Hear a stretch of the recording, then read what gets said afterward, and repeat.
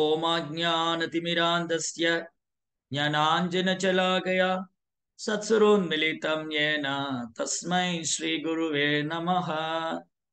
नमो ॐ विष्णुपादाय कृष्णप्रेष्ठाय भूतले श्रीमदे भक्तिवेदान्तस्वामीति नामिने नमस्ते सारस्वति देवे गौरवाणि प्रचारिणे निर्विशेषशून्यवादी पाश्चात्यदेशतारिणे जय श्री कृष्ण चैतन्य प्रभु नित्यानंद श्री अद्वैत गदाधर श्रीवासदि गौर भक्त वृंद हरे कृष्णा हरे कृष्णा कृष्णा कृष्णा हरे हरे हरे राम हरे राम राम राम हरे हरे ஹரே கிருஷ்ணா பக்தர் எல்லாருக்கும் இனிமையான காலை வணக்கம் இன்றைய பாகவத சத்சங்க வகுப்புல வந்து கலந்துட்டு இருக்கிற எல்லா பக்தர்களுக்கும் என்னுடைய பணிவான நமஸ்காரம். ஸ்ரீமத் பாகவதத்தினுடைய முதலாம் ஸ்கந்தம் பதினைந்தாம் அத்தியாயம் பதம் இருபத்தி ரெண்டு மற்றும் இருபத்தி மூன்று இருபத்தி நான்கு ராஜம் தயோனோபர்ஷத்னம் சுகிருதம் ந சுகிருத்புரே விப்ரசப விமோதனம் நிகனதம் முஸ்திபீர்மிதா वर्णिं मदिरि मदिरं पित्वा मदोन्मतेत चेतसम् अज्ञातम् इवन्योन्यं चतुःपाञ्चवस्थितः। प्रयेणैतत् भगवत ईश्वरस्य विचेस्थितं मितो मितो निघट्नन्दिभूतानि भवयन्ति च य ओ अरसरे! நீங்க நம்மளுடைய நண்பர்களை பற்றியும் உறவினர்களை பற்றியும் துவாரிகளை உள்ளவங்களை பற்றிலாம் கேட்டீங்க. அப்ப நான் உங்களுக்கு என்ன சொல்ல வரேன்னா அங்க என்ன நடந்தது? பிராமணனுடைய சாபத்தினால ஒருத்தர் ஒருத்தர் தங்களை வந்து அவமானப்படுத்திட்டு போதை வஸ்துக்களை போட்டுண்டு அவங்க என்னானாங்க?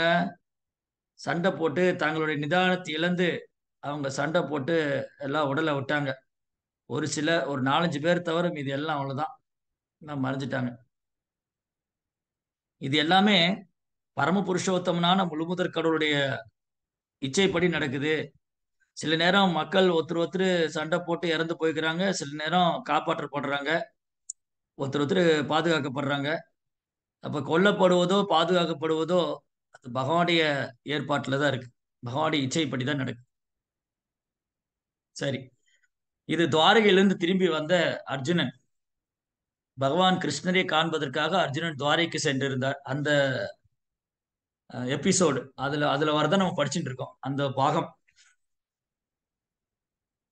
ஆஹ் அஸ்தினாபுரத்துல யுதிஷ்டர் மகாராஜரை வந்து இந்த உலகத்துக்கே சக்கரவர்த்தி ஆக்கி அமர வச்சுட்டு பகவான் துவாரைக்கு திரும்ப புறப்பட்டார். அப்படி பகவான் துவாரைக்கு புறப்படும் போது குந்தி தேவி வழிமறித்து மிக அற்புதமான பிரார்த்தனையை செஞ்சாங்க. அந்த குந்தி தேவியுடைய பிரார்த்தனைக்கும் இங்க இந்த ஸ்லோகத்துக்கும் நிறைய சம்பந்தம் இருக்கு. அதுவும் நம்ம பார்க்கலாம். அதுக்கப்புறம் குந்தி தேவியோடைய வேண்டுதலால பகவான் கொஞ்ச நாள் கூட தங்கி இருந்தாங்க. யுதிஷ்ட மகாராஜும் வேண்டிக்கிட்டாரு. இன்னும் கொஞ்ச நாள் கூட தங்கணும்னு. அதுக்கப்புறம் அவர் திரும்ப துவாரிக்கு புறப்பட்டார். சரி துவாரிக்கு போன பகவான் கிருஷ்ணர் அவருடைய திட்டம் என்ன? அவர் என்ன பண்ணிட்டு இருக்காரு? நம்முடைய உறவினர்கள் நண்பர்கள்லாம் எப்படி இருக்காங்க? நலம் விசாரிக்கிறதுக்காக அவங்க எல்லாம் பாக்குறதுக்காக அர்ஜுனன் அனுப்பிச்சாரு யுதிஷ்டிமார் அர்ஜுனனும் துவாரிக்கு வந்தாரு.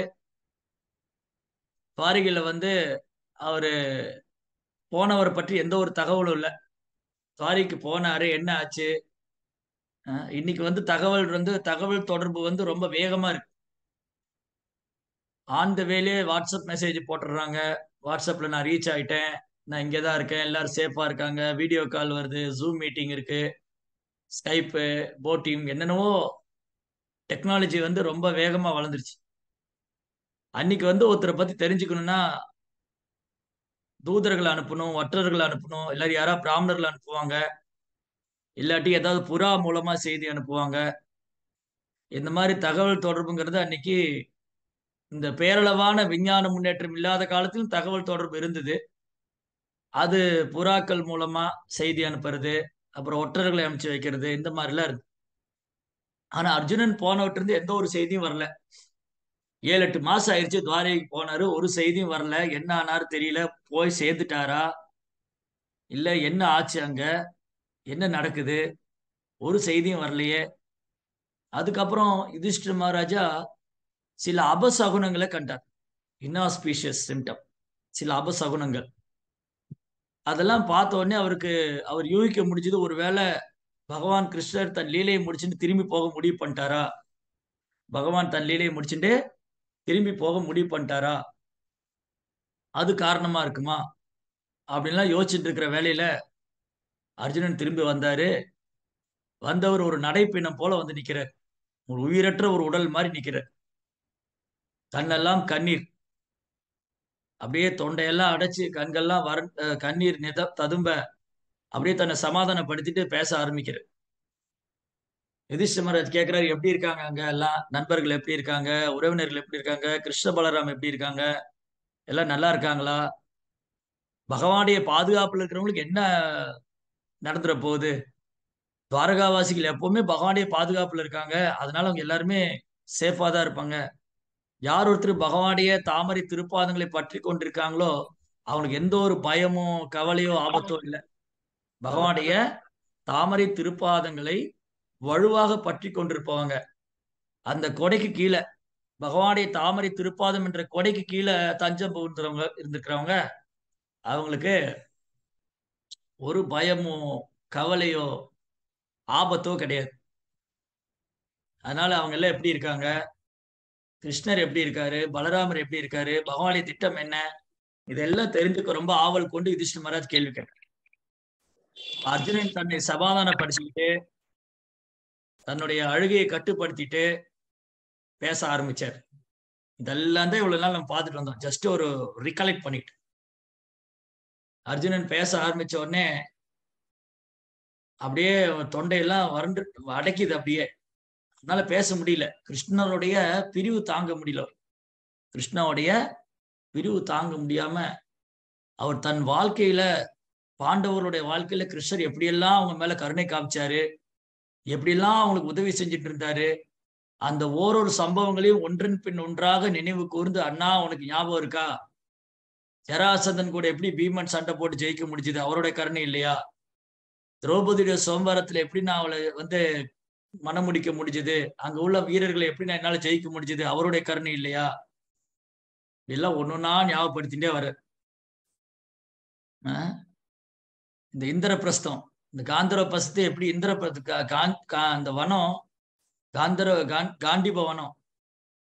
அந்த வனத்துல ஒரு பாலைவனம் தானே அது. அது எப்படி ஒரு அழகான அரண்மனையாச்சு? அதுவும் அவருடைய கருணை இல்லையா? இப்படி ஒன்றன் பின் ஒன்றாக நினைவு கொண்டே வருகிறார்.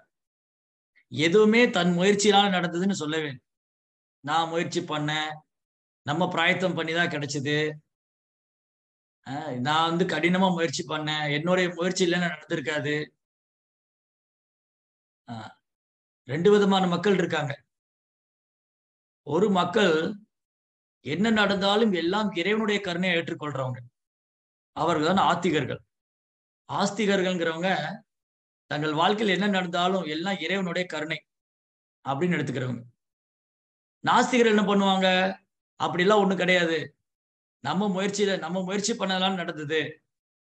இப்படி பேசுறவங்க இருக்காங்க. நாஸ்திகர்கள் இறைவனை ஏற்றுக்கொள்ளாதவங்க நாஸ்திகர்கள் இறைவனை ஏற்றுக்கொள்றவங்க ஆஸ்திகர்கள். நாத்திகர்களுடைய வேலை என்ன? நாத்திகர்கள் எது நடந்தாலும் எல்லாம் என் சொந்த முயற்சியில் நடந்தது? நான் தான் கடினமா உழைச்சேன். என்னுடைய உழைப்பு தான். என்னுடைய திறன் என்னுடைய ஆற்றல். அகங்கார் இது பொய் அகங்கார் சோ நாத்திகர்கள் பொய் அகங்காரத்தினால் என்ன நினைக்கிறாங்க? எல்லாமே நம்ம முயற்சியில தான் நடந்தது. நான் தான் செஞ்சேன். ஆனா அதே சமயம் ஆஸ்திகர்கள் எப்படி எடுத்துக்கிறாங்க? எல்லாமே கடவுளுடைய அனுகிரகத்தில் நடந்தது. கடவுளுடைய அனுகிரகம். அந்த ஆஸ்திகர்களையும் கூட ரெண்டு மூணு கேட்டகரி இருக்காங்க ஒன்று தேவதைகளை வழிபடுறவங்க தேவதைகளை வழிபடுறவங்க இன்னொன்னு யோக சித்தி. இந்த சித்திகளை நம்புறவங்க. இந்த என்ன சொல்லுவாங்க? பாசிட்டிவ் வைப்ரேஷன் ஆரா அப்புறம் என்ன சொல்றது? இந்த அந்த சுச்சுவேஷன் இதெல்லாமே பாசிட்டிவ் ஆகிறதுக்கு இருக்கு. நேச்சர் அதெல்லாம் நடக்குது. ஸோ இது நடக்கணும்னு இருக்கு நடக்குது. அப்படின்னு சொல்லி ஏதோ ஒரு சக்தி நமக்கு மேல இருக்கு. ஏதோ ஒரு சக்தி இருக்கு. ஆனா அது யாருன்னு தெரியல. அந்த மாதிரி எனக்கு மேல ஒரு சக்தி இருக்கு. கடவுள் இருக்காரு. பட் கடவுளை வந்து இவர் தான் கடவுள்னு ஏற்றுக்கொள்ளாம அந்த சக்தி தான் நம்ம மேல சக்தியோடைய அனுகிரகத்துல எல்லாம் நடக்குது. அப்படின்னு நினைக்கிறவங்க இருக்காங்க. தேவதைகள் மூலமா நடக்குதுன்னு நினைக்கிறவங்க இருக்காங்க. இந்த இந்த ஆஸ்திகர்கள் ஆஸ்திகர்களை மூணு வகையா பிரிக்கலாம். நாத்திகர்கள் ஒரே வகை தான் கடவுள் இல்லைன்னு சொல்லியிருக்காங்க அவ்வளவுதான். கடவுளே கிடையாது. எல்லாம் ஏன் முயற்சியில நடந்தது. ஆஸ்திகர்களை பொறுத்த வரைக்கும் ஒரு குறிப்பிட்ட தேவதை மேல நம்பிக்கை வச்சுட்டு அந்த தேவதையால நடந்தது. முருகப்பெருமானுடைய கருணையில் நடந்தது. விநாயக பெருமானுடைய கருணையில் நடந்தது. பார்வதி தாயாருடைய கருணையில் நடந்தது. அப்படின்னு ஒரு குறிப்பிட்ட தேவதை மேல நம்பிக்கை வச்சு அதன் மூலமா அதுல வந்து நம்பிக்கையை செலுத்துறவங்க. அந்த நம்பிக்கை மூலமா தங்களுக்கு நடக்கூடியது எல்லாமே அந்த தேவதையோடைய கருணைன்னு நினைக்கிறோம். அப்புறம் ஆஸ்திகர்ல இன்னொரு வகையானவங்க என்ன நினைக்கிறாங்க? நமக்கு மேல ஒரு சக்தி இருக்கு அந்த கடவுள். அவர் எல்லைக்கு எல்லைக்கு அப்பாற்பட்டவர் வரம்புக்கு அப்பாற்பட்டவர். அவர் எங்க இருக்கிறாரு? அந்த சக்தி எங்கும் வியாபிச்சிருக்கு. அந்த சக்தி எனக்குள்ளே இருக்கு. அப்படின்னு அவருடைய இம்பர்சனல் தோன்றா ரூபம். அருவ பிரம்மணி அருவ பிரம்மனுடைய அந்த வழிபாடு. அருவ பிரம்மனை அடை அணுகிறவன். அந்த பிரம்மன் தான் எல்லாம் செய்யுது கடவுள் தான் மறைமுகமா எல்லாம் பண்ணிட்டு இருக்காரு அப்படின்னு எடுத்து இன்னொரு வகையினர் பரமபுருஷோத்தமனான முழுமுதற் கடவுள் பகவான் ஸ்ரீ கிருஷ்ணனுடைய கருணையில் தான் நடந்தது. கிருஷ்ணாவுடைய கருணை. இது பக்தர்கள். பக்தர்கள் என்ன நினைக்கிறாங்க? எல்லாமே கிருஷ்ணாவுடைய கருணையில தான் நடக்குது.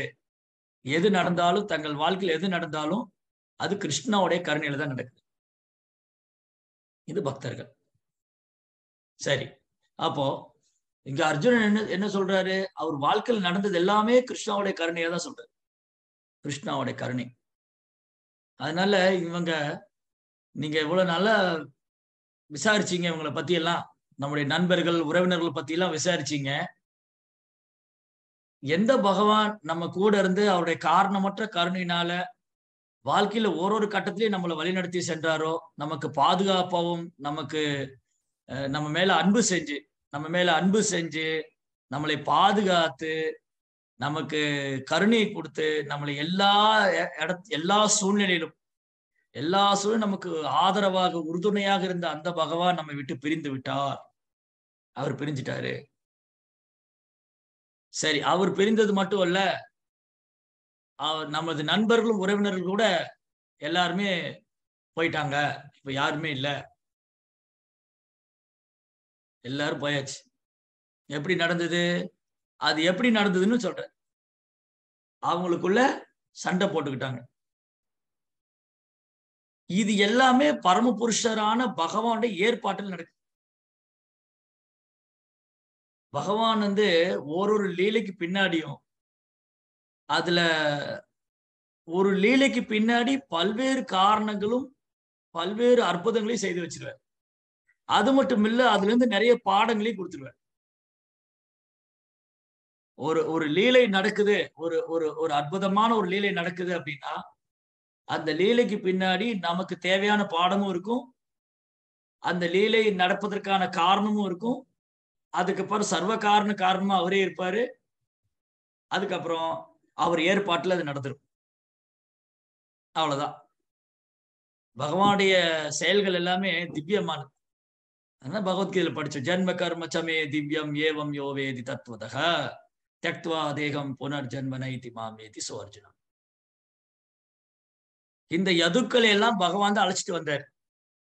யதுக்கள் எல்லாம் கிருஷ்ணருடைய நண்பர்கள் உறவினர்கள் மகன்கள் பேரன்கள் மைத்துனர்கள் சகோதரர்கள் உற்றார் உறவினர் எல்லா ஆத்மீகலோகத்திலிருந்து இங்க அழைக்க அழைச்சி வரும். பகவான் இங்க வரும்போது ஒட்டுமொத்த பரிவாரம் இங்க வந்து பகவானுடைய ஒட்டுமொத்த பரிவாரம் இங்க தோன்றியது. சரி இப்ப பகவான் திரும்ப போகணும். ஒட்டுமொத்த பரிவாரங்களையும் அழைச்சிட்டு போகணும்.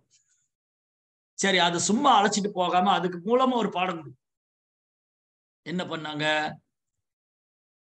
மகாபாரத யுத்தம் நடக்கும்போது காந்தாரி காந்தாரி வந்து அவங்க கண்ணு முன்னாடியே ஒரு மகன்களா கொல்லப்படுற. நூறு மகன்களையும் இழந்தார். நூறு மகனையும் இழந்து கண்ணு தெரியாத கணவனோடு அவங்க நிக்கிறாங்க. அப்போ கிருஷ்ணர் இடத்துல சொல்றாங்க காந்தாரி வாசுதேவா நீங்க நினைச்சிருந்தா இதை நிறுத்தி இருக்கலாமே நீங்க நினைச்சிருந்தா என் பையனெல்லாம் காப்பாத்திருக்கலாமே. எல்லாமே உங்க விருப்பப்படி தானே நடக்குது. ஏன்னா காந்தாரிக்கு நல்லா தெரியும் கிருஷ்ணா பரம புருஷோத்தமனான முழுமுதற் கடவுள். அது மட்டும் இல்ல காந்தாரிக்கு நன்றாக தெரியும் கிருஷ்ணர் பாண்டவர் பக்கம் இருக்கிறதுனால அவங்க தான் ஜெயிக்க போறாங்க. காந்தாரியோட பதிவரத தன்மை அவங்க முன்னாடி கண்ணு கட்டி தான் இருப்பாங்க. கண்ணு கட்டிதான் இருப்பாங்க. அவங்க முன்னாடி நம்ம போனா நம்மை பற்றி அனைத்தும் அவர் அறிவார். நம் மனதில் என்ன இருக்கின்றது? நாம் என்ன நினைத்து கொண்டிருக்கின்றோம்? நாம் எதற்காக வந்திருக்கின்றோம்? அனைத்தையும் அறிவார்.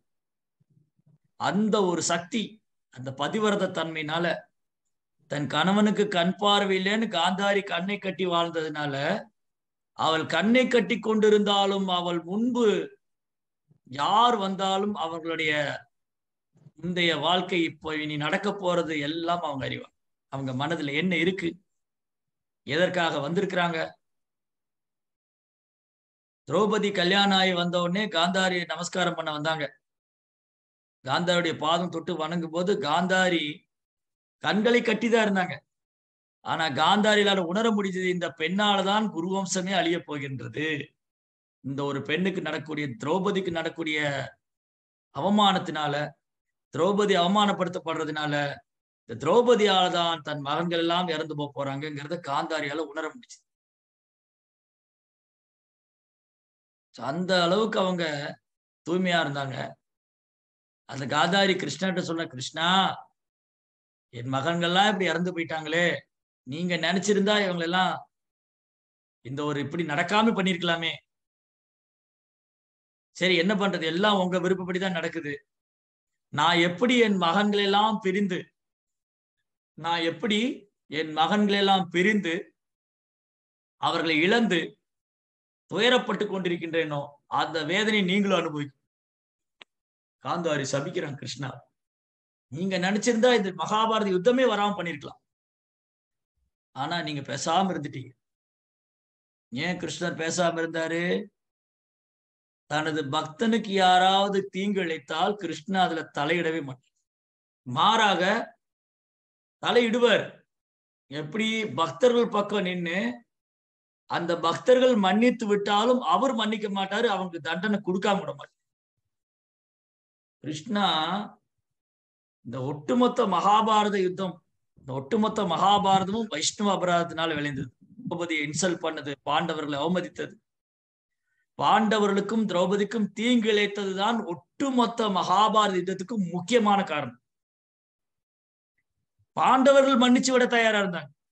சரி பரவாயில்ல அவங்களே ராஜ்யத்தை வச்சுட்டு போட்டோம் அது ஒரு வைஷ்ணவருக்கு உண்டான தெய்வீக குணங்கள்ல ஒன்று மன்னிப்பதும் அவங்க செய்த குற்றங்களை மறந்து விடுவது. மன்னிப்பது மட்டுமல்ல செய்த குற்றங்களை மறந்து விடுவது ஒரு வைஷ்ணவருக்கு உண்டான பண்புகள்ல ஒன்று. அந்த குணங்கள் பாண்டவரிடத்துல தாராளமாக இருந்தது. ஆனா கிருஷ்ணர் அதை விடல. அது எப்படி இந்த பக்தர்களுக்கு இவங்க துன்பம் விளைவிக்கலாம் கெடுதல் செய்யலாம்? அதனால இவங்க பக்கம் நின்று ஒட்டுமொத்த குருவம் காலி பண்ண அதனால வைஷ்ணவருக்கு யாராவது குற்றம் தனக்கு யாரேனும் குற்றம் செய்தால் கிருஷ்ணர் பொறுத்துக்குவார். கிருஷ்ணர் யாராவது அவதூறு பேசினாலோ கிருஷ்ணருக்கு யாராவது குற்றம் செய்தாலோ பகவான் அதை பெரு பெருசா எடுத்துக்கிறது. ஆனா தன் பக்தனை யாராவது அவதூறு செய்தாலோ குற்றம் செய்து விட்டாலோ அந்த பக்தர்கள் பொறுத்து கொண்டாலும் பகவான் பொறுத்து கொள்ள மாட்டார். சரி என்ன நடந்தது? கிருஷ்ணா அவங்க பக்கம் நின்று இவங்க பண்ண குற்றங்கள்லாம் ஒன்றன் போன்று பின்றன் ஒன்றாக ஞாபகம் வைத்துக் கொண்டு எல்லாருக்கும் தண்டனை கொடுத்தார்.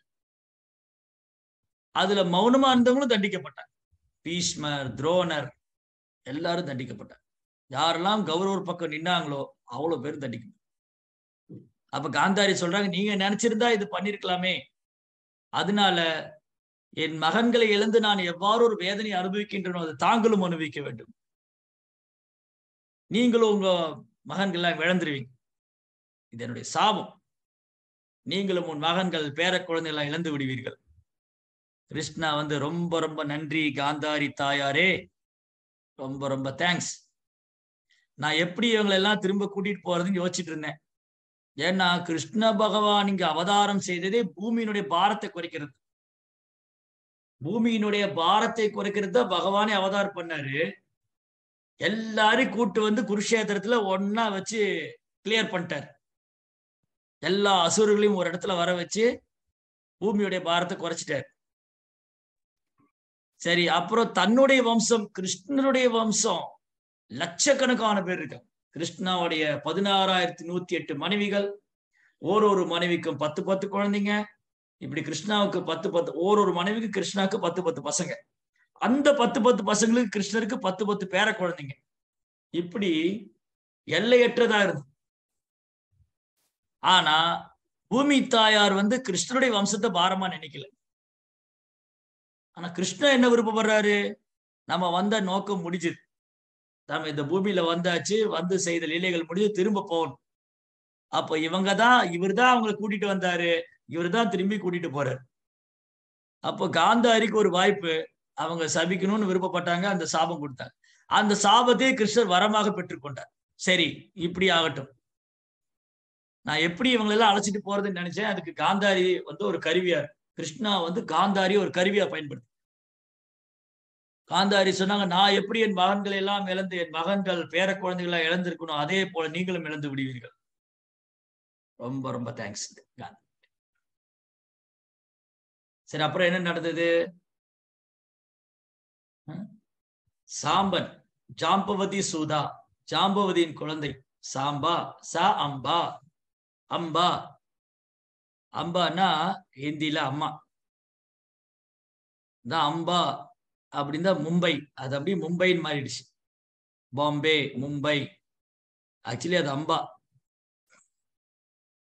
என்ன நடந்தது? ஜாம்பவதிக்கு வந்து ரொம்ப அந்த குழந்தை மேல அவ்வளவு அட்டாச்மெண்ட் சாம்பனுக்கும் ஜாம்பவதிக்கு மேல ரொம்ப அம்மா மேல அப்படி பாசம். அம்மாவே சுத்தி சுத்தி இருப்பார் எப்பவுமே அம்மா கூடயே சுத்தி ஒரு செல்ல பிள்ளை. துவாரகையிலே வைத்து கிருஷ்ணருடைய மகன்களே ரொம்ப குறும்புத்தனமுள்ள செல்ல பிள்ளை சாம்பன் என்ன பண்ணாங்க? கிருஷ்ணருடைய மகன்கள்லாம் சேர்ந்து சாம்பனுக்கு ஒரு பொம்பளை வேஷம் போட்டாங்க. ஒரு மாதாஜி வேஷம் போட்டு விட்டு அவன் வயிற்றுல துணியெல்லாம் கட்டி விட்டு அந்த பொண்ணை கூட்டிட்டு போய் முனிவர்கள்ட்ட போனாங்க. ஐயா இந்த பொண்ணுக்கு எந்த குழந்தை பிறக்கும் சொல்லுங்க. நீங்கெல்லாம் முனிவர்கள் தானே.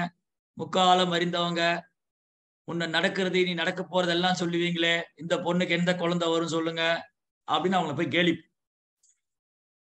அவங்க யாகம் பண்ற இடத்துல போய் பூஜை பண்ற இடத்துல போய் தவம் செய்து கொண்ட இடத்துல போய் அவங்ககிட்ட வந்து விளையாட்டு கேலி.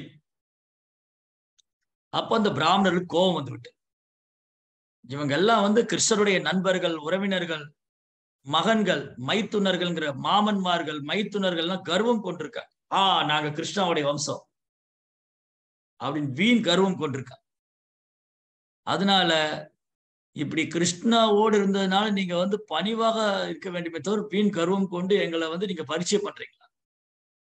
இந்த பொண்ணுக்கு இரும்பு உழைக்க தான் குழந்தையா வருது அதுதான் உங்க வம்சத்துக்கு அழிவு காரணம். ஓடி வந்தா ஜோ விளையாட்டு விபரீதம். விளையாட்டு விபரீதம் சொல்லுவாங்க. இந்த விளையாட்டு விபரீதமா போயிடுச்சு. என்னாச்சு? ஓடி வந்தா குரசேன ராஜாட்ட. இப்படி ஆகி போச்சு நாங்க பிராமணருக்கு குற்றம் செஞ்சிட்டோம். அவங்க சபிச்சிட்டாங்க. இந்த பொண்ணுக்கு இரும்பு உலக்க தான் குழந்தையா வரும். உக்ரேசனர் கொண்டாங்க. சொன்னாங்க அதை கொண்டு போய் சமுத்திரத்துல போட்டு அதை வந்து பொடி பொடியாக்கி சமுத்திரத்துல போட்டு கரைச்சிருங்க. அந்த இரும்பு உலக்க எடுத்துட்டு போய் பொடிச்சு பொடி பொடியாக்கி சமுத்திரத்துல போட்டாங்க. அது என்ன ஆச்சு கரையில வந்து கரும்பு வயல்ல கரும்பு முளைக்கிற மாதிரி ஒரு ஸ்டிக்கா வளர்ந்து நிக்குது. கரும்பு வயல்ல அப்படி லைனா கரும்பு இருக்கும்.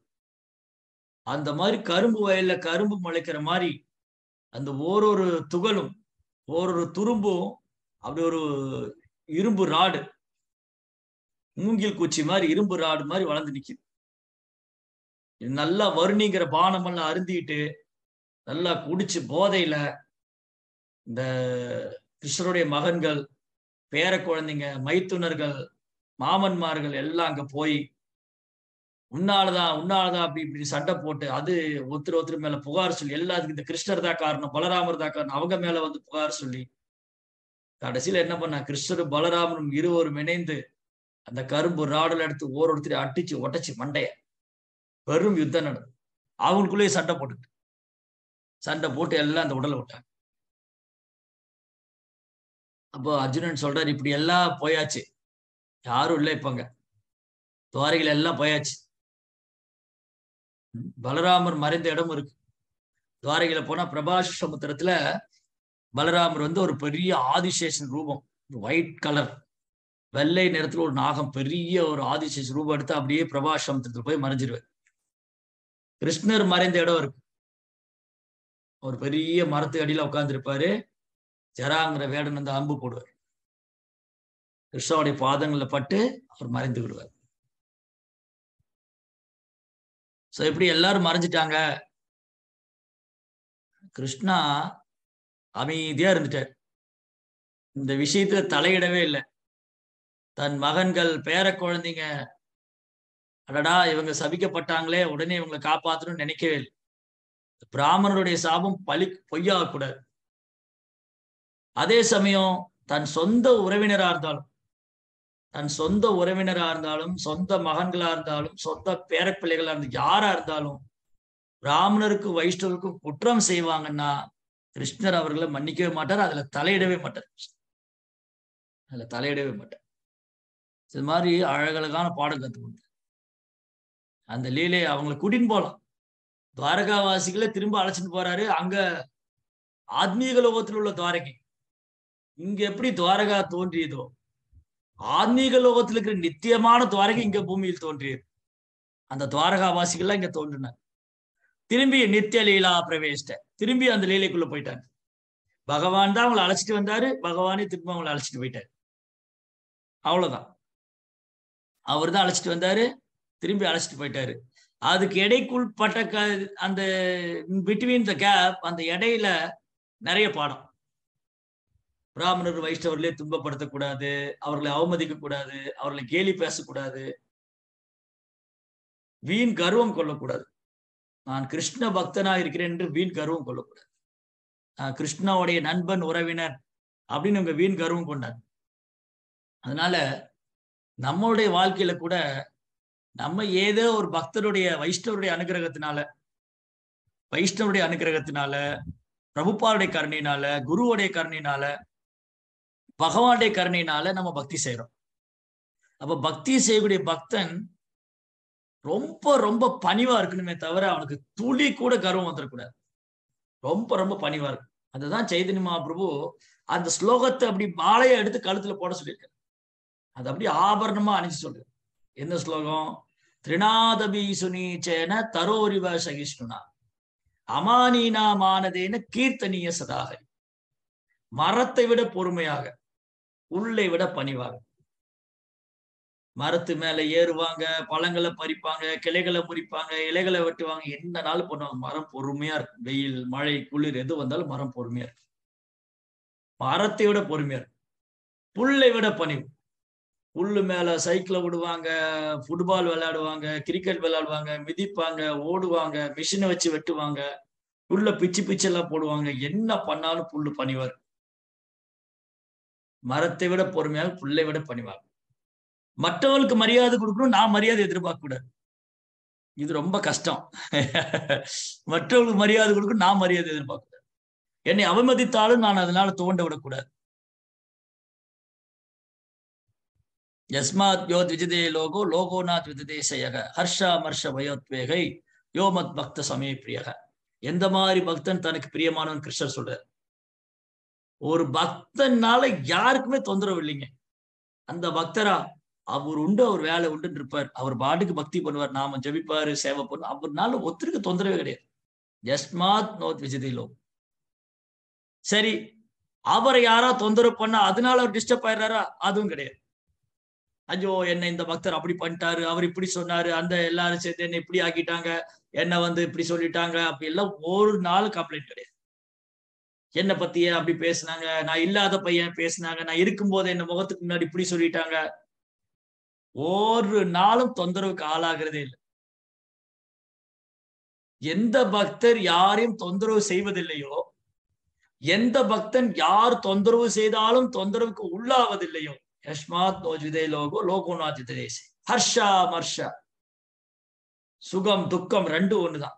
பயம் எல்லாம் பொருள் அதுக்கு பயத்தினால பாதிப்பு அஷாமர்ஷ பயத்வேகை.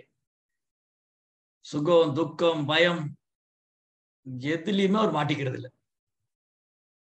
அதெல்லாம் சமமா பாதிக்கிறது அந்த மாதிரி பக்தர் கிருஷ்ணருக்கு பிரியமான. அப்போ இந்த பக்தி தொண்டு பண்ணும்போது நம்ம கர்வம் வர்றதுக்கு விடவே கூடாது. நான் கிருஷ்ண பக்தன் ஆயிட்டேன் நீங்கெல்லாம் பௌதிகவாதிங்க. சில நேரம் வீட்டுல போய் சண்டை போடுவான். நம்ம வந்து வைஷ்ணவருடைய கருணையினால கிருஷ்ண பக்தி பயிற்சி பண்றோம். அதுலயும் ஒன்றும் பக்குவமெல்லாம் ஆகல. எத்தனை நாலு வருஷமா அஞ்சு வருஷம் பத்து வருஷம் பதினஞ்சு வருஷம் ஏன் இருபது வருஷமே ஆகட்டும். எவ்வளவு வருஷம் பண்ணிட்டு இருந்தாலும் வீட்டுல போயிட்டு வீட்டுல இல்லை எங்க வெளியில இந்த மெட்டீரியல் வேர்ல்டு நம்ம பௌதிக உலகத்துலதான் இருக்கோம். பௌதிக உலகத்துல இருந்துட்டு மற்றவங்களை குறை சொல்றோம். ஆஹ் இந்த பௌதிவாதிகள் இப்படி அவங்க அப்படி இவங்க இப்படி. ஆஹ் நீங்களாம் என்ன கிருஷ்ண பக்தி நீங்களாம் பக்தியே கிடையாது உங்களுக்கு எல்லாம் அந்த மாதிரி வீண் கர்வம் கொண்டு நான் பேசவே கூடாது. வீட்டுல போறது வீட்டுல போயிட்டு நீங்க எல்லாம் பக்தர்களே கிடையாது. உங்களுக்கெல்லாம் என்ன தெரியும்? நீங்க எல்லாம் அப்படி பண்றீங்க நீங்க எல்லாம் எப்படி பண்றீங்க. யாரையுமே குறை சொல்லும் நம்ம மாறாக நம்மளுடைய ப்ரோக்ராம் என்ன? அவங்களும் பக்தராகும் நம்ம இந்த பௌதி உலகத்துல தான் இருக்கோம். நம்ம பௌதி உலகத்துல இருக்கிறதுனால வைஷ்ணவருடைய கருணையினால பிரபுபாருடைய கருணையினால குருவுடைய கருணையினால கிருஷ்ணருடைய கருணையினால நமக்கு கிருஷ்ண பக்தி கிடைச்சிருக்கு. அதனால நான் வீண் கர்வம் கொண்டு ஆஹ் நான் கிருஷ்ண பக்தன் ஆயிட்டேன் நான் தீட்சையெல்லாம் வாங்கிட்டேன். இந்த பௌதிக உலகம் எனக்கு வேண்டாம் இங்க உள்ளவங்கள மோசம். இந்த உலகமே மோசம் இங்க இருக்கிறவங்க மோசம் சொந்தக்காரங்க மோசம் நண்பர்கள் மோசம் யாரும் வேண்டாம் எனக்கு. நான் கிருஷ்ணாட்ட போயிடணும். நீங்கெல்லாம் மோசமானவங்க. அப்படி சொல்லவே கூடாது. நம்ம மாறாக அவங்களுக்கும் கிருஷ்ண பக்தி அவங்களுக்கும் கிடைக்கணும். அடடா இப்படிதான் சிறந்த பக்தர்கள். பிரகலாதர் பிரபுபாதர் ராமானுஜாச்சாரியர் இந்த மாதிரி சிறந்த பக்தர்களை இப்படிதான் பார்த்தாங்க. இந்த பௌதி உலகத்தை எப்படி பார்த்தாங்க? அவங்க வெறுக்கல. பௌதி உலகத்தை வெறுக்கல. இதுல ரெண்டு விஷயம் இருக்கு. ரெண்டு விஷயம் இருக்கு. ஒண்ணு பௌதிக உலகத்துல இருக்கிறவங்களும் நம்ம வெறுக்க கூடாது எதை வெறுக்கலாம்? பௌதிகத்து மேல பற்றுதல் வராம நம்ம பாத்துக்கணும் ரெண்டு விஷயம் இருக்கு. ஒன்று நான் இந்த பௌதிக உலகத்துல இருக்கேன்.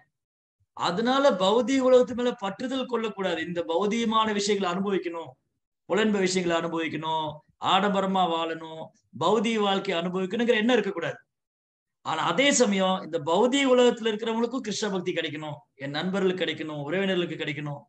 அந்த மாதிரி நினைக்கிறோம் அவங்க மேல வெறுக்க கூடாது ஆஹ் இவங்க எல்லாம் மோசம். இவங்க எல்லாம் டிவோ பக்தர் இவங்க எல்லாம் டிவோட்டி ஆகும் நீங்க எல்லாம் டிவோட்டி ஆக மாட்டீங்க. நீங்க எல்லாம் பக்தரே ஆக மாட்டீங்க. அப்படி சொல்லவே கூடாது. என்ன பண்ணணும்? அவங்களும் பக்தராகணும். அப்படின்னு அது எப்படி சாத்தியமாகும்? நம் உறவினர்களும் நண்பர்களும் பக்தராகணும்னா நம்மளுடைய பேச்சு நம் நடத்தை வச்சுதான் அவங்க பக்தராகும் ஆஹ் இவங்க முன்ன விட ரொம்ப அன்பா இருக்காங்க. இவங்க ரொம்ப முன்ன விட ரொம்ப அழகா பேசுறாங்க. கரெக்டா பேசுறாங்க. இவங்க அதுபடி பேசுறபடி வாழ்றாங்க. இதெல்லாம் பார்த்துதான் ஒருத்தர் பக்தர் ஆவாங்க நம்முடைய வெளி தோற்றத்தை பார்த்து ஒருத்தர் பக்தர் ஆகுது நம்ம எப்படி பழகுறோம் எப்படி நடந்துக்கிறோம் அதை வச்சுதான் அவங்க பக்தராகும் அதனால முதல்ல நம்ம இந்த தவறு செஞ்சிடவே கூடாது. எந்த தவறு? நான் டிவோட்டி ஆயிட்டேன். நான் தீட்சை வாங்கிட்டேன். இந்த பௌதி உலகமே மோசம். இங்க இருக்கிறவங்க எல்லாம் மோசம். இந்த உலகமே ஆகாது. என் கணவர் சரியில்லை என் மனைவி சரியில்லை என் பிள்ளைங்க சரியில்லை என் சொந்தக்காரங்க சரியில்லை. அவங்கெல்லாம் இப்படிதான் இருக்காங்க. அவங்க பௌதிகவாதியா இருக்காங்க. அவங்க பௌதிகத்துல மூழ்கி போயிருக்காங்க. அப்படி சொல்லவே கூடாது. ஏற்கனவே நாமளும் பௌதிகத்துல தான் இருந்தோம். ஆனா நமக்கு கருணை கிடைச்சிருச்சு. நம்ம பக்தர் பக்தி தொண்டு. இப்ப கூட நம்ம பக்தர் ஆயிடல. நம்ம எல்லாரும் மாணவர்களா தான் இருக்கோம். ரோப்பார் இயக்கத்துல நம்ம எல்லாரும் மாணவர்களா தான் இருக்கோம். பக்தர் ஆகிறதுக்கு முயற்சி பண்ணிட்டு இருக்கோம். அதே போல மற்றவங்களும் பக்தர் ஆகணும் அப்ப நான் பக்தர் ஆயிட்டேன்னு நினைக்கவே கூடாது. எப்ப நான் பக்தர் ஆயிட்டேன்னு நினைக்கிறேனோ அப்ப நான் பக்குவம் ஆகலன்னு அர்த்தம். ஆமா நான் டிவோட்டி ஆயிட்டேன். நான் கிருஷ்ணாவோட டிவோட்டி மற்றவங்க சொல்லலாம். ஓ இவர் ஒரு வைஷ்ணவரு. இவர் கிருஷ்ண பக்தி இயக்கத்துல இருக்காரு. அது நம்மள தோற்றமும் அப்படிதான். நம்ம திலக் போட்டிருக்கோம் துளசி மாலை போட்டிருக்கோம் சாண்டிங் பண்றோம். அப்ப நம்மளை பார்த்தோன்னே இவங்க ஹரே கிருஷ்ணா பக்தர். கரெக்ட் இது நம்மளை அடையாளப்படுத்திக்கிட்டோம். ஆனா உண்மையாலுமே இன்டர்னலா அந்த மாதிரி நான் மாறி இருக்கமா வெளியில நம்ம மாத்திக்கிட்டோம். வெளியில எப்படி மாத்திக்கிட்டோம்? நம்ம நம்ம வந்து வைஷ்ணவ ட்ரெஸ் போட்டுக்கிறோம் திலக் போட்டுக்கிறோம் துளசி மாலை போட்டுக்கிறோம் பக்தி சாண்டிங் பண்றோம் எல்லாம் பண்றோம். அப்ப வெளி தோற்றத்துல நான் கிருஷ்ண பக்தன் ஆயிட்டேன். தோற்றத்துல. பட் இன்டர்னலா உள் மனதுல நான் மாறி இருக்கேனா என் சுவாவங்கள் மாறி இருக்கின்றனவா என் குணங்களை நான் மாத்தி கொண்டிருக்கின்றேனா? அது ரொம்ப ரொம்ப முக்கியம். இன்டர்னல் சேஞ்ச் ரொம்ப முக்கியம். எக்ஸ்டர்னல் சேஞ்சோட வெளிப்புற தோற்றத்தை விட உள்புற தோற்றம் ரொம்ப முக்கியம். அதனாலதான் பௌதிகத்துல இருக்கிறவங்க டக்குன்னு என்ன சொல்லுவாங்க? ஆஹ் நீங்க எல்லாம் வேஷம் போடுறீங்க. ஒரு பக்தர் தவறு செஞ்சுட்டா உடனே என்ன சொல்லிடுவாங்க? நீங்க எல்லாம் ஏன் வேஷம் போடுறீங்க? ஏன் ஊரை ஏமாத்துறீங்க? இல்லையா? சம்டைம் வீட்லயே சண்டை வந்துருச்சு. வீட்டுல ஒரு கணவனுக்கு மனைவிக்கு சண்டை வந்துருச்சு. கணவர் கிருஷ்ண பக்தரா இருக்காங்க மனைவி பக்தர் இல்ல. உடனே மனைவி என்ன சொல்லுவாங்க? நீங்களே ஏன் சாண்டிங் பண்றீங்க? நீங்க இப்படி இருக்கீங்களே. நீங்க எந்த சும்மா ஹரே கிருஷ்ணான்னு போறீங்க இஸ்கானுக்கு போறீங்க வர்றீங்க. ஆனா நீங்க அப்படியே தான் இருக்கீங்களே. அப்ப என்ன நீங்க பயிற்சி பண்றீங்க? அடுத்து உடனே கேட்கிற கேள்வி அதுதான். இது யார் வீட்டுல நடந்திருக்கா? ஆனா யாரு சொல்லுவாங்க? யாரும் சொல்ல மாட்டாங்க. நடந்திருக்கும். உடனே அடுத்து இதுதான் கேள்வி கேட்பாங்க. என்ன நீ கிருஷ்ணா இஸ்கானுக்கு போற கிருஷ்ண பக்தர்ங்கிற சாண்டிங் பண்ற பகவத்கீதை படிக்கிற ஏகாதசி விரதம் இருக்கிற ஆனா இப்படி நடந்துக்கிறிய நீ? எங்க வீட்டுல சொல்லியிருக்காங்க பிரபு. எங்க பிரபு சொல்லியிருக்காரு. பாத்தீங்களா? வாய் அதிகமா பேசுனதுக்கு இதுக்கு இவ இஸ்கான் போறாளாம் இஸ்கானுக்கு. வாய் பேசுறான் அப்படி சொல்றது. இம்மிடியா தான் சொல்லுவாங்க. அப்ப என்ன அர்த்தம்னா மக்கள் நம்ம கிட்ட நிறைய எதிர்பார்ப்பாங்க. ஒரு சாதாரண பக்தி இல்லாதவங்க தவறு செஞ்சா அது தவறாவே எடுத்துக்க மாட்டாங்க. ஆனா ஒரு கிருஷ்ண பக்தன் ஒரு திரு சிறு தவறு செய்துட்டாலும் உடனே ஒரு பெருசா சொல்லுவார். பாத்தீங்களா? நீங்க இஸ்கான்ல போறீங்க ஏன் இப்படி பண்றீங்க? உடனே சொல்லிடுவார். அதனால இது நம்ம அடையாளப்படுத்திக்கிட்டு நான் வந்து அப்ப என்ன அர்த்தம்னா நான் இஸ்கானோடு என்னை தொடர்பு படுத்திக்கிட்டேன் ஆனா உள்ளுக்குள்ள நீ நான் மாறல. உள்ளுக்குள்ள அந்த சுபாவங்கள்லாம் இருக்கு. அதை வந்து மாத்தணும். இன்டர்னலா சேஞ்ச் ஆகும் எக்ஸ்டர்னலா ஈஸியா சேஞ்ச் ஆயிட்டோம். எக்ஸ்டர்னல் வெளிப்புறமா நம்ம சீக்கிரம் மாறிட்டோம். ஆனா உள்புறமா மாறி இருக்கிறோமா? அது ரொம்ப ரொம்ப அவசியம். உள்புறமா மாறுறது ரொம்ப அவசியம். அதுதான் உணர்வோடு சம்பந்தப்பட்டிருக்கு. உள்புறமா மாறணும். அப்படி நம்ம உள்புறமா மாறும்போது நம் மனது உடலுடைய தோற்றத்தை நம்ம மாத்திக்கிறோம். மனதினுடைய எண்ணங்கள் சிந்தனைகள் இதை நம்ம மாத்தி இருக்கிறோமா என்னுடைய செயல்பாடுகள் எப்படி இருக்கின்றது? இது வச்சுதான் அவங்க நம்மளை கணிப்பாங்க. சரி அப்போ இந்த பௌதி உலகத்தை பொறுத்தவரை இந்த பௌதி உலகத்தை பொறுத்தவரை நமக்கு பௌதிகமான பற்றுதல் இருக்கக்கூடாதே தவிர நம்ம பௌதி உலகத்தில் இருக்கிறதுனால இந்த இயக்கத்தினுடைய வளர்ச்சி அப்படின்னா நம்ம யார்கிட்ட பிரச்சாரம் பண்ணணும்? இவங்கள்ட்ட தான் பிரச்சாரம் பண்ணணும். இவங்களதான் பக்தி கொண்டு வரணும். இவங்களதான் பிரபு பாதத்தை கூட்டிட்டு வரணும். அப்போ நம்ம முதல்ல வந்து அவங்கள வந்து நம்ம இழிவுபடுத்தி பேசக்கூடாது. யாரையுமே இழிவுபடுத்தி பேசக்கூடாது. ஈவன் பப்ளிக்ல பேசும்போது பொதுவா பேசும்போது கூட நம்ம பொதுவா பேசும்போது கூட ஒரு ஒரு குறிப்பிட்ட கட்சி தலைவரையோ குறிப்பிட்ட கட்சியோ கூட நம்ம இழிவுபடுத்தி பேசக்கூடாது. காரணம் என்னது? நாளைக்கு அவங்க மூலமா நமக்கு ஏதாவது உதவி நடக்க வேண்டியது இருக்கலாம். இஸ்கானுக்கு வந்து நன்மை நடக்க வேண்டியது இருக்கலாம். அவங்க தான் அந்த பதவியில் உட்கார்ந்து இருப்பாங்க அவங்க தான் அதிகாரிகளா இருப்பாங்க. அதனால நம்ம வந்து எப்பவுமே நியூட்ரலாவே இருக்கும் நடுநிலை வைக்கணும். யாரையுமே நம்ம வந்து பர்டிகுலரா பின் பாயிண்ட் பண்ணவே கூடாது. இவங்க இப்படி இவங்க இப்படி இவங்க இப்படி. யாருமே பண்ணக்கூடாது. இவங்க மூ இவங்களை எப்படி இவங்க மூலமா கிருஷ்ண பக்தி இயக்கத்துக்கு எப்படி பிரச்சாரம் எப்படி வளர்க்கறது? நாளைக்கு ஒரு ஒரு ஏழு எட்டு கட்சி இருக்குன்னா அந்த ஏழு எட்டு கட்சியில யார் வேணா அந்த பதவிக்கு வருவாங்க. அந்த போஸ்டிங் மாறிக்கிட்டே இருக்கும். சாரி போஸ்டிங் அப்படியே இருக்கும். அது இருக்கிற அதுக்குள்ள அதுல இருக்கிற அதிகாரிகள் மாறிக்கிட்டே இருப்பாங்க. அது சிலப்ப சாதகமான அதிகாரியும் வரலாம் சாதகம் இல்லாத அதிகாரியும் வரலாம். சாதகம் உள்ள தலைவரும் வரலாம் சாதகம் இல்லாத தலைவரும் வரலாம். அப்ப என்ன பண்ணணும்? நம்ம வந்து இன்டர்னலா நம்ம உள் மனதுக்குள்ள தெரியுது இவங்க தவறு பண்றவங்க இவங்க ஏமாத்துறவங்க எல்லாம் தெரியுது. பட் வெளிப்படையில பண்ணும்போது நம்ம உள்ளுக்குள்ள இப்ப ஃபார் எக்ஸாம்பிள் உதாரணத்துக்கு ஓட்டு போடுறது இந்த ஜனநாயக நாடு. இந்த ஜன ஜனநாயக நாட்டுல ஓட்டு போடுறது ஒருத்தருக்கும் தனி தனி சுதந்திரம் இருக்கு அவங்க ஓட்டு போடணும். எப்படி ஓட்டு போடணும்? நம்ம சனாதன தர்மத்துக்கு ஆதரவா இருக்கணும் ஓட்டு போடணும். யார் வந்து சனாதன தர்மத்துக்கு ஆதரவா இருக்காங்க? இவங்க வந்தா நம்ம சனாதன தர்மத்தை காப்பாத்துவாங்க கோயில்களை நல்லபடியா வளர்ச்சி பண்ணுவாங்க அப்புறம் மக்களுக்கு வந்து நல்ல ஆன்மீக விஷயங்களை வந்து தடை செய்ய மாட்டாங்க. அப்படி உள்ளவங்களுக்கு நம்ம சப்போர்ட்டை கொடுக்கலாம். ஆனா நம்ம அது வெளிப்படையா வந்து நம்ம செய்ய முடியாது. இண்டிவிஜுவலா தனிப்பட்ட விதத்துல நம்ம உதவி நம்ம வந்து நம்முடைய நம்முடைய இதை பதிவு செய்யலாம். தனிப்பட்ட ஒரு இண்டிவிஜுவல் சோல் தனிப்பட்ட நபராக நான் வந்து அதை பதிவு செய்யலாம். ஆனா வெளிப்படையா வந்து நான் இவரைத்தான் ஆதரிக்கிறேன்னு சொல்ல முடியாது. அப்படி நம்ம வெளிப்படையை இவரைத்தான் நான் ஆதரிக்கிறேன்னு சொன்னோம்னா நாளைக்கு எகென்ஸ்டா உள்ள பார்ட்டி வந்து நான் இவங்கெல்லாம் அவங்க குரூப்பு அதனால இவங்களை வந்து இவங்களை பிரச்சாரத்தை பண்ண விடக்கூடாது. இவங்களுக்கு நம்ம வந்து எகென்ஸ்டா பேசியிருக்காங்க. அதனால எதுவுமே அதாவது நம்ம இந்த பௌதிக உலகத்துல எந்த ஒரு செயல் செய்தாலும் அதை வந்து நல்லா யோசிச்சு ஆலோசிச்சு பண்ணணும். இல்லாட்டி என்ன ஆகும்னா நம்மளை எல்லாரும் வாட்ச் பண்றோம். எல்லாரும் பார்க்கும்போது ஆ இவங்களா? இவங்க அவங்க கூட சேர்ந்து பேசினவங்க தானே? இவங்க இவங்கள பத்தி பேசினவங்க தானே? அப்படி சொல்லுவாங்க அதனால அரசியலாகட்டும் சமூகமாகட்டும் இல்ல குடும்ப உறவுகளாகட்டும் இதுல எல்லாமே நம்ம ரொம்ப கவனமா இருக்கும் நம்முடைய நோக்கம் என்னவா இருக்கணும்? இவங்களை எப்படி கிருஷ்ண பக்தி கொண்டு வர்றது? இவங்க மூலமா கிருஷ்ண பக்தி எப்படி நம்ம பரப்புறது? புத்தக விநியோகம் செய்யறது அப்புறம் நிகழ்ச்சிகள் நடத்துறது இதெல்லாமே எப்படின்னா இந்த சொசைட்டில தான் நம்ம பண்ணியாகணும். இந்த சொசைட்டி மேல எனக்கு வெறுப்பு இருந்தா என்னால பண்ண முடியாது. இந்த மக்களை மக்களை பார்க்கும்போதே ச்சே பௌதிகவாதிகளா? இப்படி இருக்காங்க. அப்படின்னு நினைச்சா பிரச்சாரம் பண்ண முடியாது. அடடா! இவங்க கிருஷ்ணரை மறந்து போய் இப்படி பௌதியத்துல இருக்கிறாங்க. எப்படியாவது இவங்களுக்கு உதவி செய்யணும். அப்படி நினைச்சாதான் பிரச்சாரம் பண்ணும் அதனால நம்முடைய சிந்தனையை முதல்ல மாத்தணும். நம்ம சிந்தனை நமக்கு ரெண்டு விதமான சிந்தனை இருக்கலாம். எல்லாருக்கும் அப்படி இருக்குன்னு சொல்ல வரல. பட் ஜென்ரலா இந்த இப்படி இப்படி இருந்திருக்கலாம். இப்படி இருக்கலாம். எப்படி தோணும் நமக்கு? நான் கிருஷ்ண பக்திக்கு வகை நான் கிருஷ்ண பக்தி எடுத்துட்ட உடனே எனக்கு சில விஷயங்களை பிடிக்காது. பௌதிக மக்களோட சேர்றது பிடிக்காது சொந்தக்காரங்களோட சேர்றது பிடிக்காது நண்பர்களோட போறது பிடிக்காது. இதெல்லாம் வந்து எனக்கு இன்ட்ரெஸ்ட் எல்லாம் போயிடும். ஏன்னா அதெல்லாம் வந்து மாயை அது இல்ல அவங்க தப்பு பண்றாங்க அதெல்லாம் சரி வராது அப்படின்னு அதுல வெறுப்பு வந்துருக்கு அந்த செயல்கள்ல வெறுப்பு வரலாம் அந்த நபர்களை நம்ம வெறுக்க கூடாது அந்த செயல்ல நமக்கு வெறுப்பு வரலாம். இப்போ உதாரணத்துக்கு நம்ம கிருஷ்ணபக்திக்கு வர்றதுக்கு முன்னாடி நமக்கு நண்பர்கள் இருந்திருப்பாங்க உறவினர் இருக்க எல்லாருமே இருக்காங்க.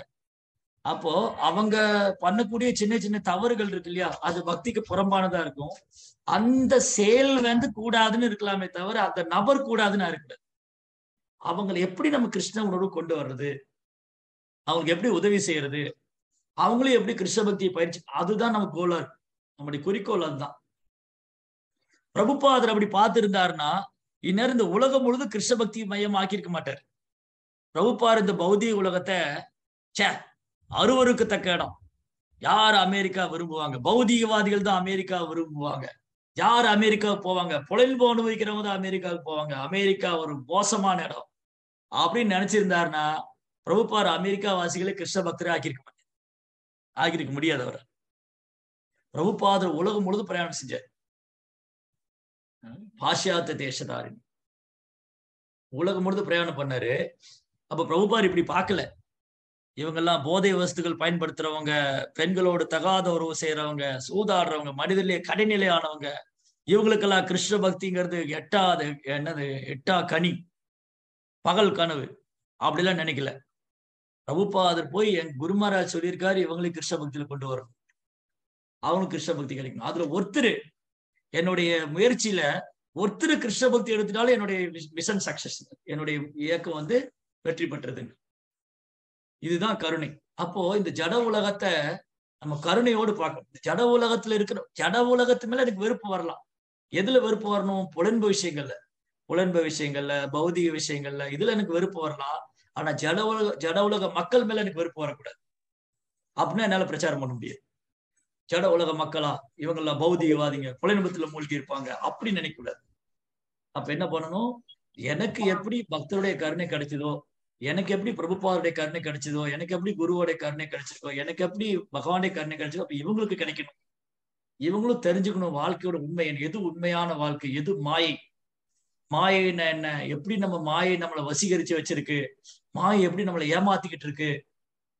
மாயா வந்து எப்படி என்கிட்ட சூழ்ச்சி பண்ணி என்னை வந்து வசீகரிச்சு வச்சிருக்கு? இதுல இருந்து நான் எப்படி நான் வந்து மாயாவுடைய மடியில தூங்கிக்கிட்டு இருக்கேன்? அப்படின்னு நம்ம அதை உணர வைக்கணுமே தவிர நீங்கெல்லாம் மாயால் இருக்கீங்க. நீங்கெல்லாம் பக்தர்கள் கிடையாது. நீங்கெல்லாம் அவ்வளவுதான். நரகத்துக்கு போயிடுவீங்க. அப்படின்னு சொல்லுங்க. அப்படிலாம் பண்ணக்கூடாது. சில நேரங்கள் நடக்கும். சில நேரங்கள் வீடுகள் என்ன பண்ணுவோம்? நம்ம போய் தீவிரமா பக்தி பண்ணுவோம். சொந்தக்காரெல்லாம் பார்த்து நீங்கெல்லாம் கணவரா நீங்க? கிருஷ்ண பக்தியே கிடையாது. நீங்க பக்தியை எடுத்துக்க மாட்டேங்கிறீங்க. அப்படிலாம் சொல்ல முடியாது. நம்ம என்ன பண்ணலாம்? நம்ம அவங்களுக்கு நம்மளுடைய டியூட்டி நம்முடைய கடமையாக அந்த குரு குடும்ப அங்கத்தினருக்கு சேவை பண்ணலாம். ஒரு தகப்பனாக கணவனாக மனைவியாக பிள்ளைகளாக சேவை பண்ணலாம். ஏன்னா அந்த டியூட்டி நான் எடுத்து அந்த ரெஸ்பான்சிபிலிட்டி அந்த பொறுப்பு நான் எடுத்துக்கிட்டேன். ஒரு கணவனோ மனைவியோ பிள்ளைங்களோ அந்த பொறுப்பு எனக்கு இருக்கு. ஆனா அதை விட எனக்கு பெரிய பொறுப்பு கிருஷ்ணருக்கு நான் சேவை பண்ணும் அப்ப இரண்டையுமே நான் வந்து இரண்டு இடத்துலயும் நான் வந்து என்ன சொல்றது பேலன்ஸ் பண்ணும் நான் ஒரு நல்ல கணவனா இருக்கணும் நல்ல கிருஷ்ண பக்தனா இருக்கணும். நல்ல மனைவியா இருக்கும் நல்ல கிருஷ்ண பக்தரா இருக்கும். அப்ப நல்ல கிருஷ்ண பக்தரா இருக்கும்போது இது ரெண்டையுமே பண்ண முடியும். கிருஷ்ண கான்சியஸ்ல வந்து நான் வந்து என்னை வந்து எந்த அளவுக்கு என்கரேஜ் பண்ணிக்கிறனோ அந்த அளவுக்கு நான் வந்து எப்படி பார்ப்பேன்? இந்த இவங்களை எல்லாருமே வந்து கிருஷ்ணருடைய ஒரு சிறிய அம்சமாக இவங்க எல்லாமே வந்து பகவான்கிட்ட பிரிந்த அம்சமாக இவங்க எல்லாம் அறியாமல் இருக்காங்க எப்படியாவது கிருஷ்ணருடைய கருணையை கொடுக்கணும் அப்படின்னு அவங்க மேல இரக்கம் கொள்ளுவேன் வெறுப்பு காட்டுறது வேற இரக்கம் கொள்றது வேற. வெறுப்பு காட்டுறது என்னது? ஆஹ் என்ன என்ன நீங்க? என்ன எதுவுமே பண்ண விட மாட்டேங்கிறீங்க. அதெல்லாம் அவங்களுக்கு தெரியாது. அவங்களுக்கு இதோடைய இதோடைய கிருஷ்ண உணர்வோட முக்கியத்துவமே அவங்களுக்கு தெரியாது. அதனால சில நேரம் அவங்க வந்து நம்மளை பார்த்து ஏளனம் செய்யலாம். ஆஹ் என்ன? எவ்வளோ கா இந்த மாதிரி கம்ப்யூட்டர் காலத்துல அரே ராமா அரே கிருஷ்ணன் உட்காந்துட்டீங்க நான் சேட்டிங் பண்றீங்க. நீங்க என்ன எப்படி இருக்கிறீங்க? நீங்க என்ன பௌத்தியத்துல ஆர்வம் காமிக்க மாட்டீங்க? அந்த மாதிரி அவங்க சொல்லணும். ரைட் நேச்சர் அது அவங்களோட நேச்சர் அது ஏன் சொல்றாங்க? அவங்களுக்கு தெரியல. இதோட வேல்யூ தெரியல. இதோடைய மதிப்பை நம்ம எப்படி சொல்லிக் கொடுக்கணும்? அது நம்ம ப்ராக்டிஸ் பண்றதுல இருக்கு. நம்ம ப்ராக்டிஸ் பண்ணி நம்ம கேரக்டரை சேஞ்ச் பண்ணி காமிக்கும் போது அட இப்படி இருந்தவங்களா எப்படி மாறி இருக்காங்க. இப்படி இருந்தவங்களா எப்படி பக்தி பண்றாங்க. அப்ப என்ன ஆகும் அவங்களுக்கு அவங்களுக்கு ஆட்டோமேட்டிக்கா அதை எடுத்துக்கணும்னு தோணும். நம்முடைய பிஹேவியர் நம்முடைய நடத்தை நம்ம அவங்க மேல அன்பு காமிக்கிறது அவங்களுக்கு உதவி செய்யறது அதை பார்க்கும்போது ஆஹ் இந்த கிருஷ்ண பக்தி நல்லா தான் இருக்கு. அதுல போனதுக்கு அப்புறம் இவ்வளவு மாற்றம் இருக்கு அவங்ககிட்ட அதுக்கு முன்னாடினா சண்டை போட்டுக்கிட்டு இருப்பாங்க கோவப்படுவாங்க எல்லாம் பண்ண. இப்ப எது சொன்னாலும் அவங்க சிரிச்சுக்கிட்டே அன்பா எல்லாம் ஆச்சு. மெச்சூரிட்டி அந்த ஒரு அந்த மெச்சூரிட்டி இவர்கிட்ட பார்க்க முடியுது. கிருஷ்ண பக்தி இயக்கத்துல போனது இவர் நிறைய பக்குவமாயிருக்காரு. அதனால கிருஷ்ண பக்தி நல்லதுதான் பண்ணிருக்குங்கிறத உணர வைக்கணும். அது எப்ப ஃபீல் பண்ணுவாங்க? நம்முடைய பிஹேவியர்ல தான் ஃபீல் பண்ணும். நம்ம நடந்துக்கிறதுல. அதனால ரொம்ப ரொம்ப இம்பார்ட்டன்ட் பாருங்க அர்ஜுனர் வந்து அவங்க அண்ணாட்ட சொல்ற எப்படி இருக்க முடியுங்க? என்னால பொறுத்துக்க முடியல. பகவான் என்னை விட்டு பிரிஞ்சிட்டாரு. நம்ம உறவினர்கள் நண்பர்கள்லாம் போயிட்டாங்க. யாருமே இல்லை இப்போ. அப்படின்னு அந்த அவருடைய ஆதி இது எதெல்லாம் இது எப்படி நடந்தது இது? எல்லாம் பகவானுடைய ஏற்பாடு நடந்தது. பகவானுடைய இச்சைப்படிதான் எல்லாம் நடக்குது. அவர் தான் அவங்களை அழைச்சிட்டு வந்தாரு. அவர் தான் திரும்ப கூட்டிட்டு போயிட்டாரு. எல்லாமே அவர் விருப்பப்படிதான் நடக்குது. சில நேரங்களில் சண்டை நடக்குதா? அதுவும் அவருடைய ஏற்பாடு தான் சில நேரம் ஆஹ் பாதுகாப்பு இருக்கா? அதுவும் அவருடைய ஏற்பாடு. அதுதான் குந்தி தேவியோட பிரார்த்தனை. நம்ம சொன்னோம் இல்லையா இந்த ஸ்லோகத்துக்கும் குந்தி தேவியோட பிரார்த்தனை கனெக்ஷன் இருக்கு. குந்தி தேவி என்ன சொல்றாங்க? இந்த உலக மக்களுடைய சண்டை சச்சரவுக்கு வந்து யார் காரணம்? அவங்களே தான் காரணம். கிருஷ்ணா என்ன பண்றாரு? பேசாம இருக்கிறாரு. ஏன்னா ஒவ்வொருத்தருக்கும் அவங்களுடைய பௌதீக எண்ணங்களால தானே அந்த பொய்யகங்காரத்தினால நானே அனுபவிக்கணும் நான் தான் வச்சு இந்த பொய்யகங்காரத்தினால அவங்க சண்டை போட்டுக்கிறாங்க. பூதானாம் களி உய்வாளுடைய சண்டை சச்சரவுக்கு கிருஷ்ணா என்ன பண்றாரு? பேசாம அமைதியா இருந்தாரு. அப்போ சில நேரம் சண்டைகள் ஏற்படுதா? அதுவும் கிருஷ்ணாவோட ஏற்பாடு தான் சில நேரம் நல்ல விஷயங்கள் நடக்குதா? அதுவும் கிருஷ்ணாவோட ஏற்பாடு தான் எல்லாமே அவருடைய ஏற்பாட்டுல தான் நடக்குது. அதனால எதையுமே இங்க கிருஷ்ணருடைய அனுமதி இல்லாம பார்க்கவே முடியாது. கொரோனா வைரஸ் வந்துதான் அதுவும் கிருஷ்ணாவுடைய ஏற்பாடு தான். அதுல நன்மை இருக்கா? ஆமா. தீமை இருக்கா? ஆமா. எல்லாமே இருக்கு. யாருக்கு தீமை? பக்தர் இல்லாதவங்களுக்கு பெரும் இழப்பு. பக்தர்களுக்கு ஒரு பிரச்சனையும் இல்லை. அவங்க கூடுதலா பக்தி பண்ணியிருக்கிறாங்க. பாகவதம் படிச்சிருக்கிறாங்க. சத்சங்கத்துக்கு வந்திருக்காங்க. நிறைய பக்தர்களா இருக்காங்க நிறைய ப்ரோக்ராம் நடந்திருக்கு. வழக்கத்துக்கு மாற பிரச்சாரம் அதிகமா இருக்கு. பௌதிகத்துல கூட கிருஷ்ணர் நன்மை தான் பண்ணியிருக்காரு கொரோனா வந்து பௌதியத்திலயும் கிருஷ்ணர் நன்மை தான் பண்ணியிருக்காரு. இயற்கையை அப்படியே புனிதப்படுத்தியிருக்காரு. இயற்கையை பூரா மனிதர்கள் நாசமாக்கி வச்சிருந்தாங்க. அந்த இயற்கையை திரும்பவும் பழையபடி ஆயிடுச்சு. சரி அதுக்கப்புறம் என்ன நடந்தது? கொரோனால இறக்குறது கூட விபத் விபத்துல இருக்கிறவங்க தான் அதிகமா இருந்தாங்க. பெரிய பெரிய நகரங்கள்ல ஆயிரக்கணக்கான விபத்துகள் ஏற்பட்டு கொரோனா வந்ததுக்கு அப்புறம் கொரோனால இறந்தவங்க ரொம்ப கம்மி. விபத்துகள் ரொம்ப குறைஞ்சிருச்சு. விபத்துல இறந்தவங்களுடைய எண்ணிக்கை ரொம்ப ரொம்ப குறைஞ்சிருச்சு. இந்த மாதிரி எ- எல்லாத்துக்கும் பின்னாடி ஒரு காரணம் இருக்கு. எல்லா அனைத்துக்கும் பின்னாடி ஒரு காரணம் இருக்கு. ஆனா கிருஷ்ணா சர்வ காரண காரணம் இருக்கு கிருஷ்ணா எல்லா காரணத்துக்கும் மூல காரணம். அதனால ஒரு பக்தர் வந்து எதையுமே கிருஷ்ணர் இருந்து வேறுபடுத்தி பாக்குறது இல்லை. எல்லாத்தையுமே கிருஷ்ணரோட சம்மந்தப்படுத்தி பாக்குறது இது ஏன் நடந்தது? இதுக்கு பின்னாடி கிருஷ்ணாவுடைய திட்டம் எதா இருக்கும்? இது ஏன் நடந்தது? அதுக்கு பின்னாடி கிருஷ்ணருடைய பிளான தான் இருக்கும். அது நம்முடைய பௌதிக சிந்தனையை கொண்டு புரிஞ்சுக்க முடியாது. அதெல்லாம் கிருஷ்ணாவுடைய ஏற்பாடு தான். அதனால பிரிவதும் இணைவதும் வாழ்வதும் மடிவதும் எல்லாம் அவர் கையில தான் இருக்கு. இந்த உலகத்துல சிலர் பிரியறாங்க சிலர் இணையறாங்க சிலர் சண்டை போட்டுக்கிறாங்க சிலர் வந்து சந்தோஷமா வாழ்றாங்க எல்லாமே கிருஷ்ணாவுடைய அவர் சுவிட்ச் ஆன் பண்றாரு சுவிட்ச் ஆஃப் பண்றாரு. இந்த ஜட உலகமே அவருடைய கட்டுப்பாட்டில் தான் இயங்கிட்டு அவருடைய மேற்பார்வையில தான் இயங்கிட்டு அதனால பிரபா ரொம்ப அழகா சொன்னாரு. அப்ப என்ன பண்ணணும்? எல்லாமே கிருஷ்ணருடைய ஏற்பாட்டில் நடக்குதுன்னு கிருஷ்ணாவுடைய திட்டத்தை அறிந்து கொண்டு நாம் கிருஷ்ணருக்காக செயலாற்ற வேண்டும். எத்கரோசி எஜஸ்னாசி எஜ்ஜுகோசி ததாசியத் எ தபஸ்யசி கவுந்தேய தத்குரு ஸ்மதர்ப்பணம் அர்ஜுனா நீ எதையெல்லாம் படைக்கின்றாயோ எதையெல்லாம் கொடுக்கின்றாயோ எதையெல்லாம் உண்கின்றாயோ எந்த தவங்களை எல்லாம் புரிகின்றாயோ எனக்கு அர்ப்பணம் செய்து விடுவாயாக? அதன் மூலமா நீ அவரு அதான் யோக கர்மசு கௌஷலம்னார். அதுதான் யோகம். அனைத்தையும் கிருஷ்ணரோடு இணைப்போதான் யோகம். கிருஷ்ணாட்டு இருந்து பிரிச்சுட்டா அது போகம். கிருஷ்ணாட்டு இருந்து பிரிச்சுட்டா அது போகம். கிருஷ்ணாவோட இணைச்சால் அது யோகம். ஸோ இந்த கலையை தான் பகவத்கீதை பாகவதம் கற்றுக் கொடுக்கும் எல்லாத்தையுமே கிருஷ்ணரோடு சம்மந்தப்படுத்து இப்போ அர்ஜுனன் கிருஷ்ணரோடு சம்மந்தப்படுத்தினாரு இந்த உறவினர்கள்லாம் நம்மளை விட்டு பிரிஞ்சுட்டாங்க. உறவினர் நண்பர்கள்லாம் இதெல்லாம் அவருடைய திட்டப்படி தான் நடந்தது. அப்படின்னு சொல்லிட்டு அர்ஜுனன் தன்னை சமாதானப்படுத்திக்கிட்டு பேசிட்டு இருக்காரு. ஸோ இப்படி பகவானுடைய திட்டம் என்ன? அவர் எப்படி இந்த உலகத்தை நடத்திக்கிட்டு இருக்காரு? இங்க என்ன நடக்குதுங்கிறதெல்லாம் சாஸ்திரம் மூலமா கண் கூட காணும் பார்க்க முடியும். பகவானுடைய திட்டத்தை ஆச்சாரியன் அறிவார். பக் தூய பக்தர்கள் அறிவான் யுதிஷ்ட மகாராஜ் புரிஞ்சுக்கிட்டாரு. நாரதர் மறைமுகமா சொல்லிட்டு போனாரு. அர்ஜுனன் இங்க புரிஞ்சுக்கிட்டாரு. எல்லாம் கிருஷ்ணருடைய கருணையில தான் அவருடைய ஏற்பாட்டு நடக்கும் அந்த மாதிரி நம்ம ஆன்மீக குருவுடைய வழிகாட்டுதலை பின்பற்ற ஆன்மீக குருவுக்கு தெரியும். ஆ- குருவுக்கு தெரியும் நம்மளை எப்படி வழி நடத்தணும். இந்த ஜட உலகத்துல எப்படி தன் சீடனை வழி நடத்தணும் ஆன்மீக குருக்கு நல்லா தெரியும் அதனால ஆன்மீக குருடைய தாமரை திருப்பாதங்களை சரணடிச்சிட்டா ஏன்னா ஆன்மீக குருவுக்கு கிருஷ்ணனுடைய திட்டம் என்னன்னு தெரியும். ஏன்னா கிருஷ்ணா தன் திட்டத்தை தன் தூய பக்தருக்கு வெளிப்படுத்துற அதனால குருவுக்கு தெரியும் நம்மளை எப்படி கைட் பண்ணணும் எப்படி வழி நடத்தணும்.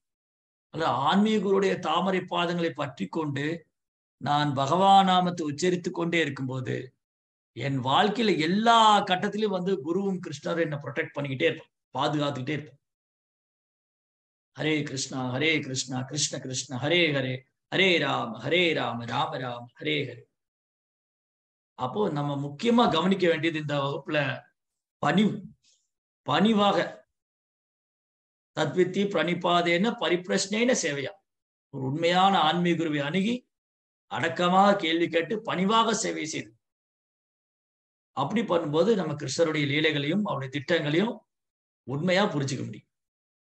தத்வதர்ஷி. தத்வதக தத்வதர்ஷி. தத்துவதரிசி கிருஷ்ணாவுடைய திட்டத்தை உண்மையா தெரிஞ்சு சரியா புரிஞ்சின்றவரு அந்த குருவுக்கு நம்ம சேவை பண்ணும்போது நமக்கும் கிருஷ்ணாவுடைய திட்டம் என்னன்னு வெளிப்படும் குருவுடைய கருணையால் இதுக்காக தான் கிருஷ்ணா இந்த ஜட உலகத்தை படிச்சாரா? ஜட உலகத்தை படிக்க நாம் அனுபவிக்கிறதுக்காக அல்ல. கிருஷ்ணர் படிச்சது நம்ம திரும்பி கிருஷ்ணன் போறதுக்காக. பிரபுப்பார் அழகா எழுதுறாரு. கிருஷ்ணா ஏன் இந்த உலகத்தை படிச்சாரு? திட்டம் என்ன? நம்ம எல்லாம் திரும்பி அவர்கிட்ட கூட்டின்னு போறதுதான் ஆனா நம்ம என்ன நினைச்சிருக்கோம்? நம்ம ஒரு திட்டம் போட்டிருக்காங்க. இங்க எப்படி நம்ம கம்ஃபர்டபுளா இருக்கலாம்? இங்க எப்படி சுகமா வாழலாம்? ஆனா கிருஷ்ணாவுடைய பிளான் என்ன? நம்மளை எப்படியோ திரும்பி கூட்டு போ அதனால கிருஷ்ணாவுடைய திட்டம் என்னன்னு ஆச்சாரியருக்கு தான் தெரியும். அதனால ஆச்சாரியருக்கு நம்ம சேவை பண்ணும்போது அவங்க அனுகிரகத்தினால நம்ம கொஞ்சம் கொஞ்சமா கிருஷ்ணருடைய திட்டத்துக்குள்ள வரும். திரும்பி போறதுக்கு நம்ம தயாரா? அதான். அதனால இந்த ஜட உலகத்துல இந்த ஜட உலகத்தில் இருக்கக்கூடிய பௌதிக வசதிகளை நம்ம வெறுக்கலாமே தவிர இந்த மக்களை பௌதிகவாதின்னு சொல்லி வெறுத்துடக்கூடாது அவங்க மேல கருணை காட்ட வேண்டும். வைஷ்ணவா பரதுக்க துக்கி கிருபாம்புதி. வைஷ்ணவர்னா ரொம்ப கருணைவாதி இந்த மக்கள்லாம் இப்படி பகவானை மறந்து போய் கஷ்டப்பட்டுட்டு இருக்காங்க. எப்படியாவது அவங்களை கிருஷ்ண உணர்வு கொண்டு வரணும். அதுதான் ஆச்சாரியருடைய மனோபாவம். அதுதான் குருவுடைய மனோபாவம். அதுதான் ஒரு வைஷ்ணவருடைய மனோபாவம். ஹரே கிருஷ்ணா. ஜெய ஸ்ரீல பிரபுபாத் கி